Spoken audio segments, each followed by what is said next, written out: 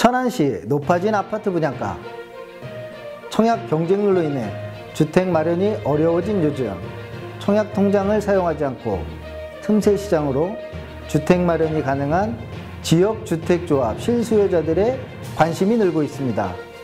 틈새 시장으로 인해 많은 분들이 힘들어하고 있다는데요. 무슨 말인지 들어보겠습니다. 지금까지 지역주택 조합 아파트에서 사고 난 현장이 참 많습니다. 어, 또그 고통 속에서 계시는 분들도 많이 있고요. 저희 하나포레나 천안용곡 아파트는 확정 분담 금제를 도입하여 어, 추가되는 모든 비용에 대해 업무 대행사에서 그 책임을 지고 있습니다. 요즘 전 세계가 코로나로 인하여 몸살을 앓고 있습니다. 자영업자들의 한숨, 계속되는 경기 악화, 서민들의 평생 소원인 내 집 마련의 꿈. 분양가가 하늘 높게 치솟는 아파트보다는 잘 선택한 조합 아파트가 여러분의 힘이 되어 줄 것입니다.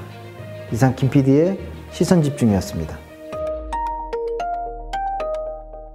언제나 새로운 즐거움 MTV